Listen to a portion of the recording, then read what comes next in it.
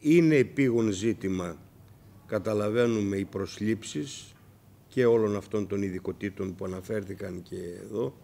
Είναι επίγον ζήτημα η εξειδίκευση, η εκπαίδευση στη ΣΜΕΘ και οι προσλήψεις των απαραίτητων εκεί. Είναι στα επίγοντα ζητήματα τα τεστ κορονοϊού που πρέπει να κάνουν όλοι οι εργαζόμενοι και οι εμβολιαστέντες ανάμεσα σε αυτούς γιατί μπορεί να κολλήσει τον κορονοϊό αυτός που έχει κάνει το εμβόλιο και μπορεί να τον μεταδίδει πιθανόν. Έτσι. Μπορεί σε λιγότερη έκταση από ότι ο άλλος, αλλά και αυτός. Άρα πρέπει να ξέρει.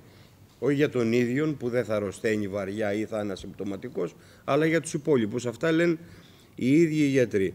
Και όλα αυτά τα ζητήματα που δεν είναι επιμέρους είναι σοβαρά ζητήματα. Θα ήθελα όμως να πω το εξής. Καταρχήν ε, και τα νοσοκομεία, τα δημόσια νοσοκομεία είναι στο δημόσιο ενός κράτους αστικού καπιταλιστικού που υπηρετεί συγκεκριμένα συμφέροντα.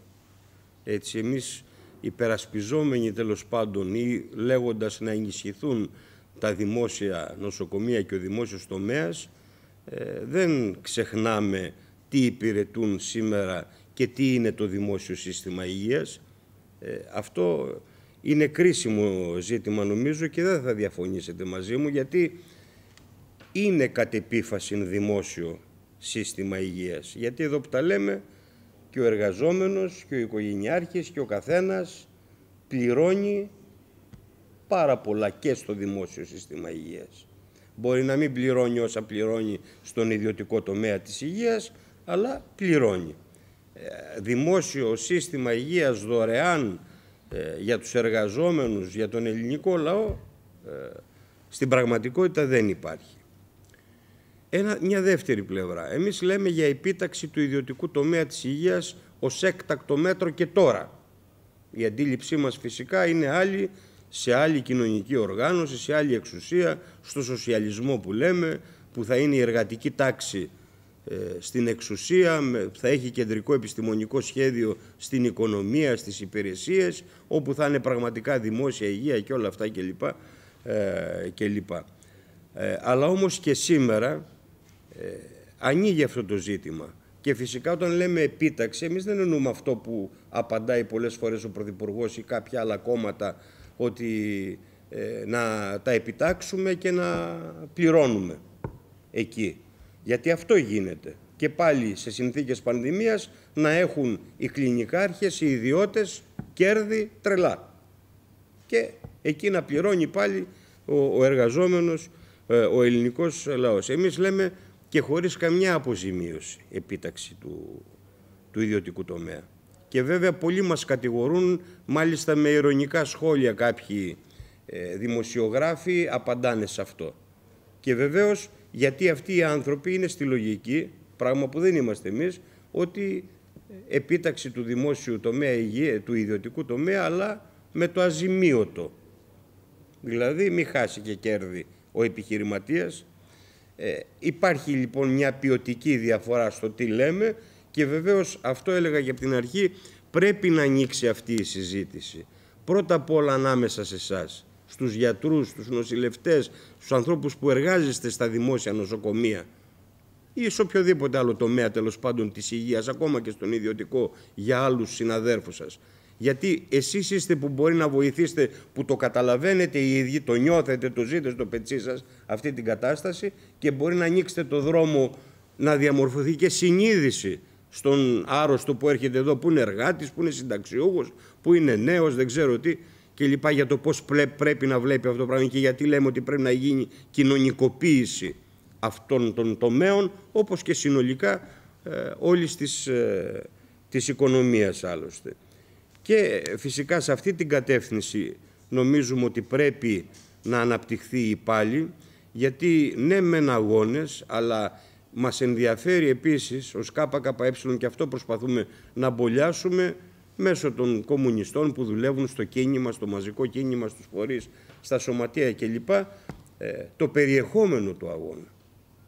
Γιατί άμα πας έτσι, πάλι θα ωφελούνται κάποιες δυνάμεις που βρίσκονται στην ίδια δυστυχώς αντιλαϊκή κατεύθυνση και στον τομέα της υγείας και αλλού.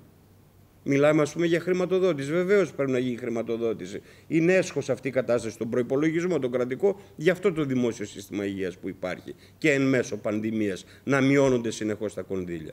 Αλλά έβλεπα και την πρόταση του ΣΥΡΙΖΑ προχτές που παρουσίαζε ο Τσίπρας, ε, ο πρόεδρος του ΣΥΡΙΖΑ, για τον προπολογισμό και έλεγε για το νέο εσύ αυτή, εκτός των άλλων τώρα που δεν είναι και της ώρας να το αναλύσουμε, Έχουμε τοποθέτηση και χθες ο Ριζοσπάστης έγραφε αναλυτικά για αυτά. Αλλά για τον προπολογισμό λέει να πάει στο 7% που ναι μεν δεν είναι αυτό που είναι σήμερα, αλλά όμως είναι μικρότερο από το 8% που υπήρχε στον προϋπολογισμό του 2009.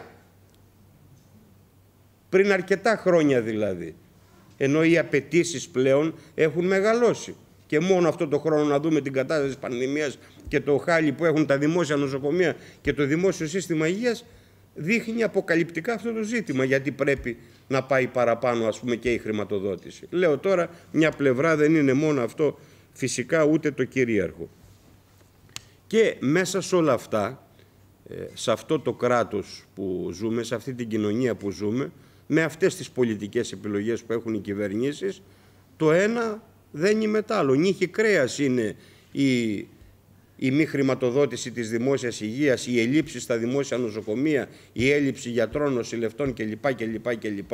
Και αυτή η διαχείριση απαράδεκτη που γίνεται της πανδημίας του κορονοϊού με την καταστολή. Γιατί ε, για να επιβάλλει αυτές τις αντιλαϊκές πολιτικές και αυτή την πολιτική και στην υγεία και στην παιδεία χρειάζεται ένα μηχανισμό που θα λειτουργεί με αυταρχισμό, με μέτρα καταστολής, με βία, τρομοκρατία, με ανασφάλεια για τους εργαζόμενους, αυτούς που λένε πολίτες αυτοί. Λοιπόν, και το ένα φέρνει το άλλο, όπως είπε και ο, ο συνάδελφος, ο συναγωνιστής, ο κύριος Λάχος, και χτες είχαμε στη, στη Νέα Σμύρνη. Και εκεί βαρέσαν γυναικόπαιδα. Μπήκαν μέσα τάχα μου για να ελέγξουν τον Κυριακάτικο περίπατο αν είχαν τα, τα SMS, τα, το 6, το 2 ή το, με ποιο ήταν με τα, με τα παιδάκια τους οι άνθρωποι στο αυτό. Και σπάσαν στο ξύλο ένα νέο άνθρωπο, ας πούμε, ε, χωρίς λόγο και αιτίας.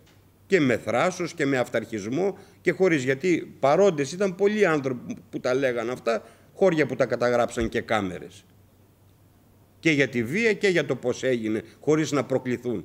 Αντίθετα, η ράμπο του Χρυσογοίδη εκεί πυροδοτούσαν, ας πούμε, την, και προκαλούσαν τον, τον κόσμο, ας πούμε εντελώς ανέτεια. Αλλά αυτά είναι στοιχεία της συνολικότερης πολιτικής που ασκεί αυτό το κράτος και άρα έτσι πρέπει να τα δούμε. Και όχι με τη λογική τώρα που κάποιοι ξεχνούν την κυβερνητική τους θητεία, ενώ τη διακυβέρνηση ΣΥΡΙΖΑ ΑΝΕΛ, του ΠΑΣΟΚ πιο πριν κλπ. Τώρα βγαίνει και ο κύριος Τσίπρας και η κυρία Γεννηματά και καλά κάνουν, εμείς δεν τους λέμε όχι. Και ο κύριος Βαρουφάκης που ήταν υπουργός του του Τσίπρα το πρώτο εξάμεινο ε, και μιλούν για όλα αυτά. Αλλά και οι ίδιοι ρίχναν με τα ΜΑΤ ξύλο σε αγωνιζόμενους είτε φοιτητές, είτε εργάτες, είτε υπάλληλους, είτε επιστήμονες κλπ. Κατά τη διάρκεια της κυβερνητικής τους θητείας. Γιατί το κράτος έχει συνέχεια. Άρα λοιπόν κάπως έτσι εμείς, αυτή είναι η άποψή μας, πρέπει και να τα συζητάμε τα ζητήματα, να προβληματιζόμαστε για αυτά και να βάζουμε αυτό που λέμε περιεχόμενο πάλι σε ποια κατεύθυνση θα πρέπει να είναι μέσα στο κίνημα. Και εδώ και το κίνημα των υγειονομικών, ακριβώς επειδή ειλικρινά σας το λέω, έχετε αποκτήσει κύρος και με τις αγωνιστικές κινητοποιήσεις σας και με την αυτοθυσία αυτή τη μεγάλη που δίνετε υπηρετώντας ε, ως λειτουργήμα ε, τον τομέα σας, στο ελληνικό λαό, γενικότερα σε άλλα εργαζόμενα ε, λαϊκά στρώματα, πρέπει ε, να συμβάλλετε αποφασιστικά σε αυτό και μέσω των σωματείων σας, των συλλόγων, με τη συζήτηση την καθημερινή. Θα ήθελα να σας ευχαριστήσω πάλι, να έχετε καλή δύναμη, υγεία και θα τα πούμε. Εδώ είμαστε. Ευχαριστούμε πολύ. Γραμματέα του Κομμουνιστικού Κόμματος.